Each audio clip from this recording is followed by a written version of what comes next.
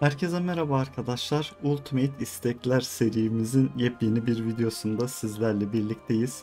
Ee, YouTube kanalımızda Ultimate Lore Master üyelerimizin özel istekte bulunduğu, içerik isteğinde bulunduğu bu serimizde bugün bu videonun sponsoru Mehmet Ali Acar oldu. Kendisine çok teşekkür ediyorum. Ve onun isteği üzerine de World of Warcraft'ta ekonomi nasıl sağlanır? E, professional'la nasıl e, para kazanabiliriz? Ya da bu oyunun parasını kendimiz e, nasıl sağlayabiliriz ve oyuna gerçek para vermeden kendi goldlarımızla bu oyunu oynayabiliriz? Bununla ilgili bir içerikte bulundu. E, biz de bugün e, bununla ilgili sizlerle konuşmak istedik. Aslında biliyorsunuz World of Warcraft aylık ücreti olan bir oyun ve dolayısıyla e, bu oyunu oynarken e, bizim yapmamız gereken şeylerden biri ya bu oyunun ücretini dışarıdan gerçek parayla ödememiz ya da oyun içerisindeki altını kasarak, gold'u kasarak o gold karşılığında bu oyunun ücretini ödeyebilmemiz. Tabii ki de e, günümüzde ya da işte son dönemlerde malum Türkiye ekonomisinin gelmiş olduğu bazı nedenlerden ötürü e, bu oyunun gerçek parayla ödeyebilen oyuncu sayısı her geçen gün ne yazık ki azalıyor. Ve bununla ilgili olarak da yapmamız gereken bazı şeyler var oyunda ve e, oyun içerisindeki parayla, gold'la bu parayı nasıl karşılayabiliriz? En kolay yoldan ya da en stabil yoldan nasıl sağlayabiliriz? Bununla ilgili biraz konuşmak istiyorum.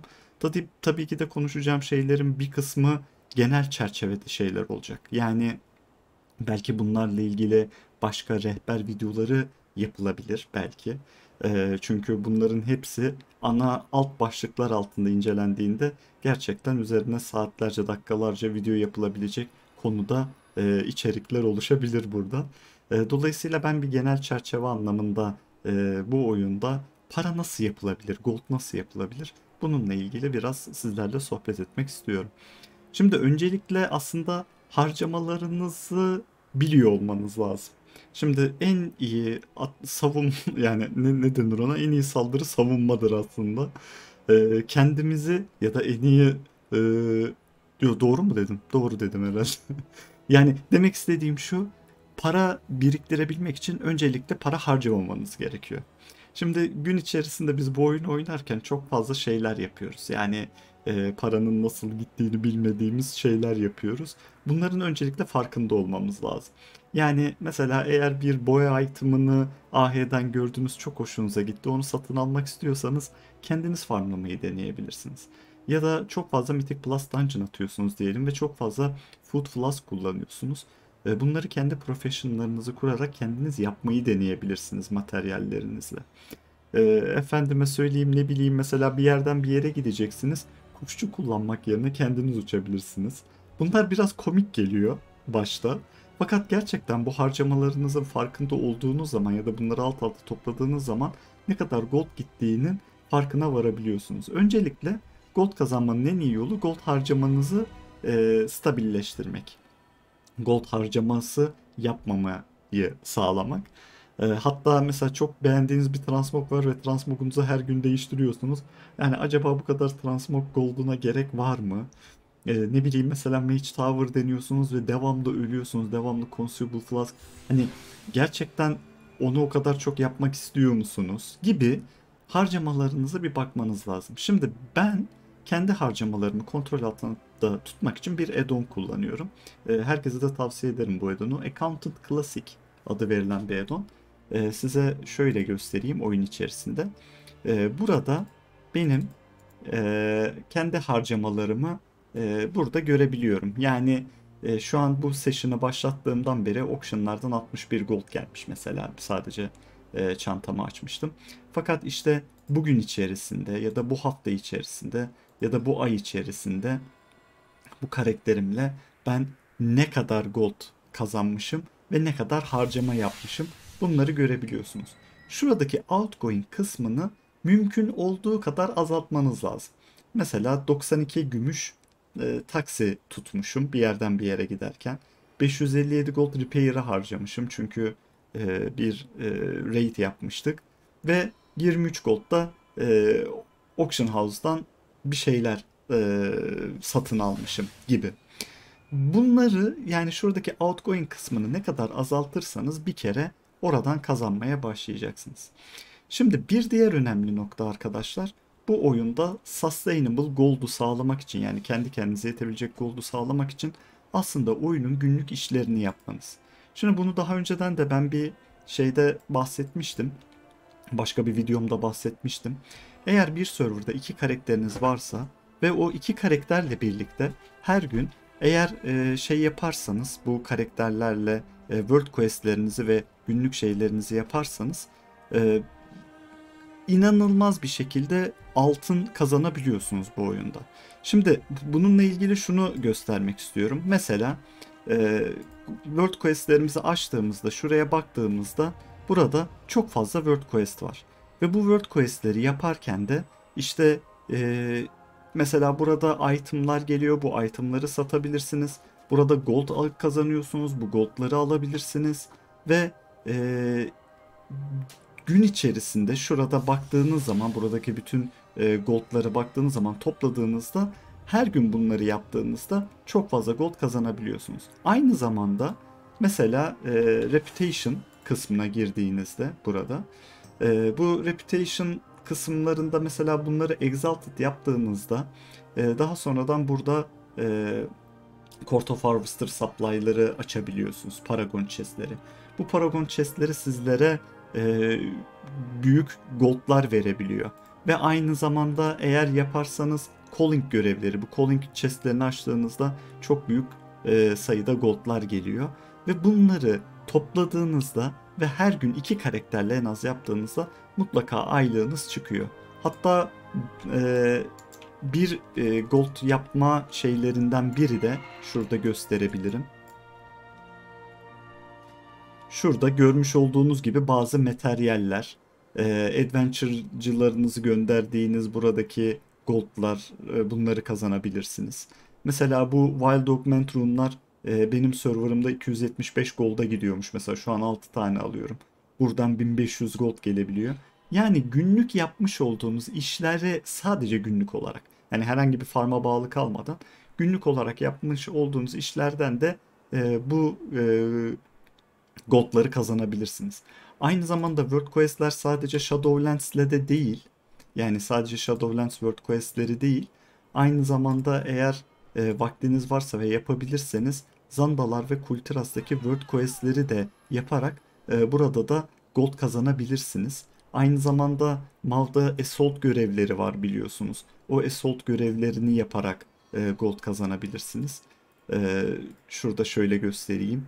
E, burada mesela şu an Nightfay Assault görevi var. E, bu Assault görevini yaparak çıkacak olan çantanın içerisinden de gold kazanabiliyorsunuz. Yani günlük olarak aslında herhangi bir şey yapmadan sadece iki karakterle her gün tüm World Quest'leri döndüğünüzde de aylık ücretini oyunun çıkartabilirsiniz. Peki bu hani belki şunu söyleyebilirsiniz yani her iki karakterle tüm World Quest'leri dönmek ve o World Quest'lerden gelecek olan itemları satarak evet kendinizi döndürebiliriz ama belki bundan daha efektif bazı yöntemler vardır. Tabii ki de var. Bu yöntemlerden biri arkadaşlar farming. Şimdi bir farming karakteri oluşturmanız gerekiyor bunun içinde. Ben genelde bu tip işler için Druid'imi kullanıyorum. Druid'imi kullanmamdaki nedenim de benim e, Druid biliyorsunuz e, uçma formuna yani mount formuna instant ulaşabiliyor ve formunu bozmadan çiçekleri toplayabiliyor. Eğer e, bir druid karakteriniz yoksa ya da kasmak istemiyorsanız e, bazı mountlar var. Mount'tan inmeden çiçekleri toplayabildiğiniz. E, onları da kullanabilirsiniz kendi klasınıza bağlı olarak ama druid'i öneririm.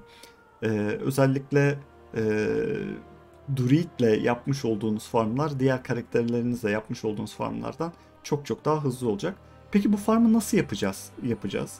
Ee, bir e, farm materyalinin e, gold'unun ne kadar verimli olduğunu nereden bilebileceğiz? Bunun için de biraz auction house bilgisi gerekiyor.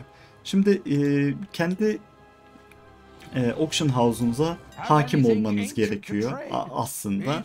E, mesela bir diyelim ki bir çiçek şöyle baktığımız zaman mesela video bulum e, sizin serverınızda ne kadara gidiyor ve e, ne kadar video bulum satılıyor normalde toplamda. Bunlarla ilgili bilgiyi edinmeniz gerekiyor. E, ve sizin için en uygun çiçeğe burada karar vermeniz gerekiyor. Buna karar verdikten sonra arkadaşlar mesela bazı internet siteleri var. E, wowprofessions.com gibi. E, burada e, bazı rotalar gösteriliyor. O rotalar üzerinden ilerleyerek o rota üzerinde e, bulunan çiçekleri ya da madenleri toplayabilirsiniz. Kendinize bir zaman ayırın. Günde yarım saat, 45 dakika, 1 saat ne kadar ayırabiliyorsanız, ne kadar fazla ayırırsanız o kadar fazla kazanırsınız zaten. E, belirlemiş olduğunuz bir ürünü e, farmlamaya başlayın. Bu şekilde farmlama yaparak e, düzenli bir gelir de elde etmeniz mümkün. Hatta böyle farm sonrasında eğer kendi professionınızda kastıysanız direkt bu ham maddeyi AH'de koyup satmak yerine ham maddeden üretmiş olduğunuz malzemeleri satarak da para kazanabilirsiniz. Yalnız burada dikkat etmeniz gereken bir husus var. Bazen ham maddeler yapmış olduğunuz e, o ham maddeden yapmış olduğunuz üründen auction house'da daha karlı olabiliyor. E, bu zamanlara bağlı, işte undercut'lara bağlı, e, paranın piyasasına bağlı yani. E, buna da dikkat edebilirsiniz. Şimdi bir de e, hiç paranız yoksa mesela farmda yapacak vaktiniz yok. E, Auction House Play diye bir olay var. Auction House üzerinde ucuza alıp pahalıya satarak e, kazanabilirsiniz. Fakat bu her zaman kolay bir şey değil. Şimdi bazen bazı ürünleri mesela burada görüyorsunuz video bulum 25 Gold'dan satılıyor en ucuz. Ve şöyle bir baktığımız zaman undercut'ı hani e, güzel bir fiyat söyleyelim. Hani 49'dan başlamış 25'e kadar düşmüş undercut yapa yapa. Bazen burada e, hani tabirimi mazur görün böyle keriz silkelemek diyorum ben buna. Bazen buraya böyle 10 golda bir mal koyuyorlar ve daha sonradan o 10 golda koymuş oldukları malı e, insanların oraya e, undercut'a hiç bakmadan yapmasını sağlamaya çalışıyorlar ve o 10 gold 9 gold olarak düşüyor ve daha sonra onların paralarını toplayıp tekrardan 25 golda buraya satmaya çalışıyorlar. Bazen bunu yapıyorlar.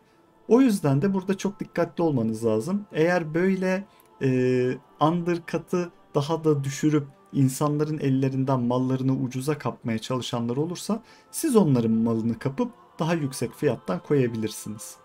Ee, ama bu yani bence çok etik bir yöntem değil. Bunu uygulamayın siz.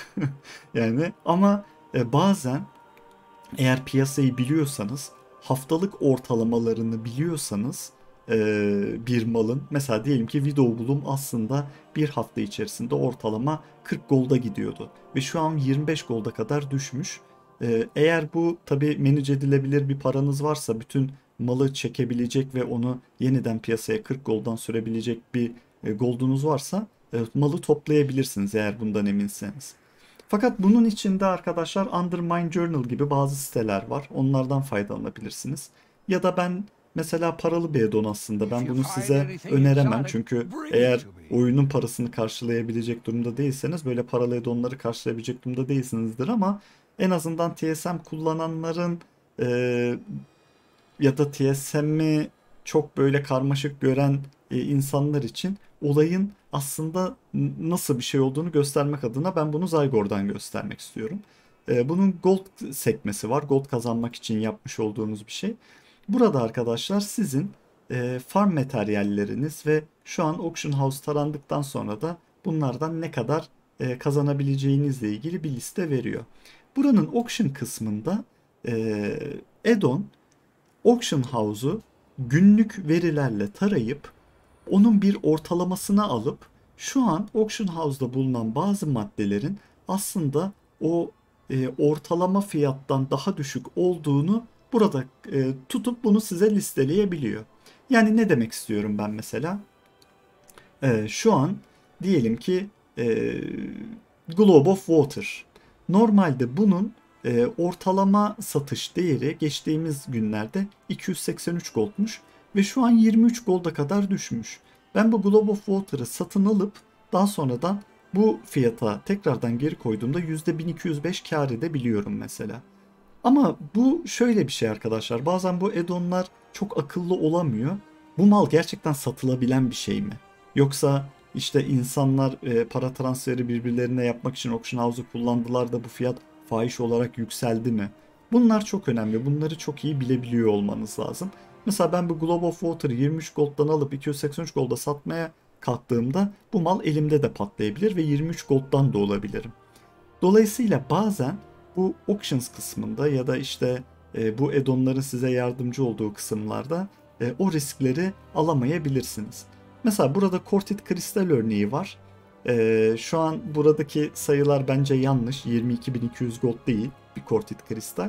Ama mesela gain'i %1000 değil de %1, %5 olanlar gerçekten e, ciddi ve doğru veriler verebilirler. Kazancınız %1 olarak az gibi gözükebilir ama taş atıp da kolunuz yorulmuyor. Ucuza alıp pahalıya sattığınız için buradan da e, para kazanabilir olabilirsiniz.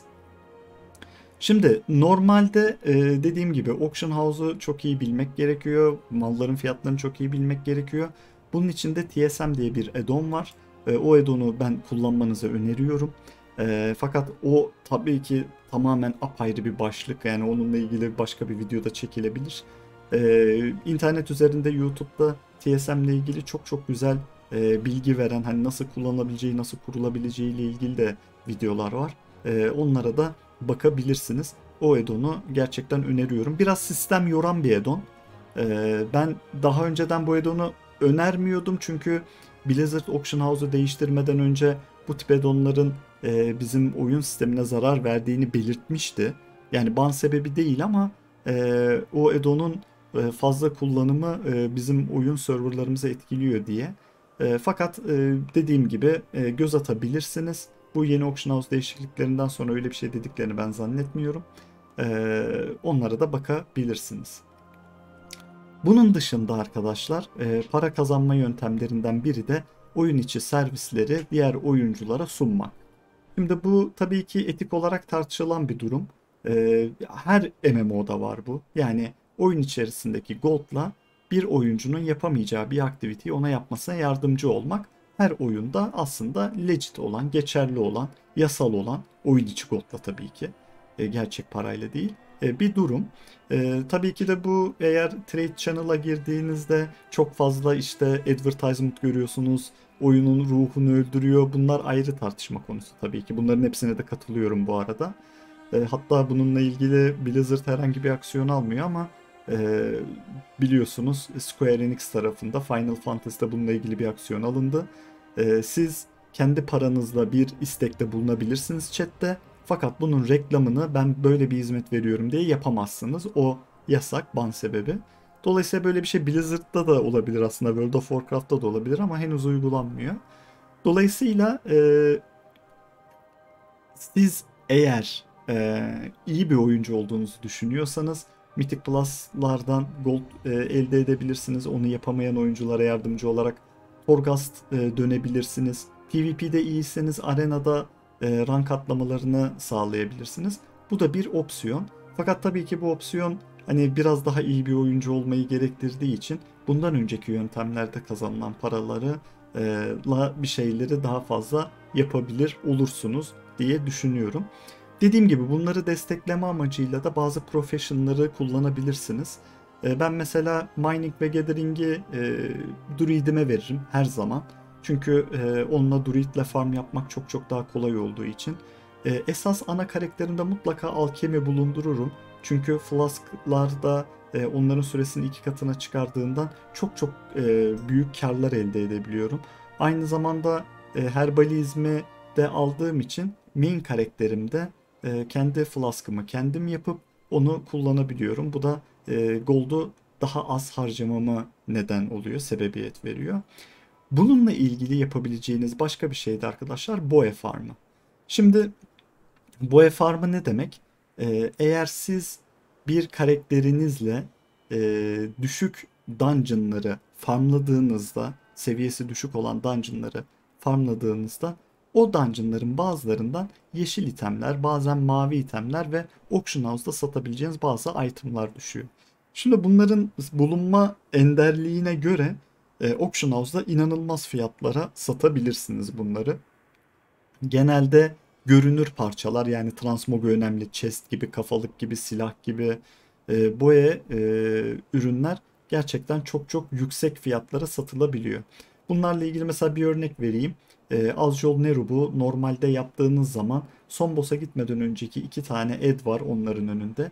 Çok çok düşük bir ihtimalle e, Unknown Archaeologist Hammer diye bir boya item düşürüyor. Bunun Silver Moon'daki fiyatı ben en son baktığımda 400 bin gold'tu. Yani sadece bir itemla bile bir aylığınızı çıkarabileceğiniz bazı boyalar olabiliyor. Tabii ki de bu hemen koyduğunuzda satılacak anlamına gelmiyor. İlk girdiğinizde düşecek anlamına gelmiyor. Fakat bunu günde yarım saat 45 dakika bir karakterinizle eski dungeonları dönüp oradan düşen boya itemleri transmog olarak e, satışa koyduğunuzda yani ne kadar çok tabii yelpazeniz yüksek olursa mesela 1000 tane boya itemını bir banka karakterinde satmaya kalktığınızda günde bir tane bile satılsa 1000 tane item'dan o daha sonradan bir iş modeli olarak size e, kar olarak dönecektir. Bunu da düşünebilirsiniz.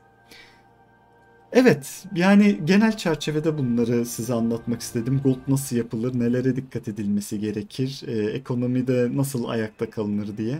Eğer sizlerin de fikirleri varsa e, bunu yorumlar kısmına iletirseniz çok çok sevinirim. E, daha spesifik olarak e, bazı dediğim gibi hani bir professional mesela nasıl kasılacağıyla ilgili bilgi de verebiliriz bununla ilgili ama genel çerçevede bu oyunda para kazanma yöntemlerini size anlatmak istedim dilim döndüğünce. E, umarım sizin için de yararlı olmuştur. E, bu arada bu videonun e, sponsoru bugün e, Mehmet Ali Acar'dı. Kendisine çok teşekkür ediyorum. E, Ultimate Lore Master olarak e, YouTube kanalımıza yaptığı katkı için de bir kez daha teşekkür ediyorum. Eğer sizler de görmek istediğiniz bir içeriğiniz varsa katıl butonuyla Ultimate Lore Master üyesi olabilirsiniz. Kendinize çok çok iyi bakın arkadaşlar. Bir sonraki e, videoda görüşmek üzere. Hepinize iyi günler diliyorum. Hoşçakalın.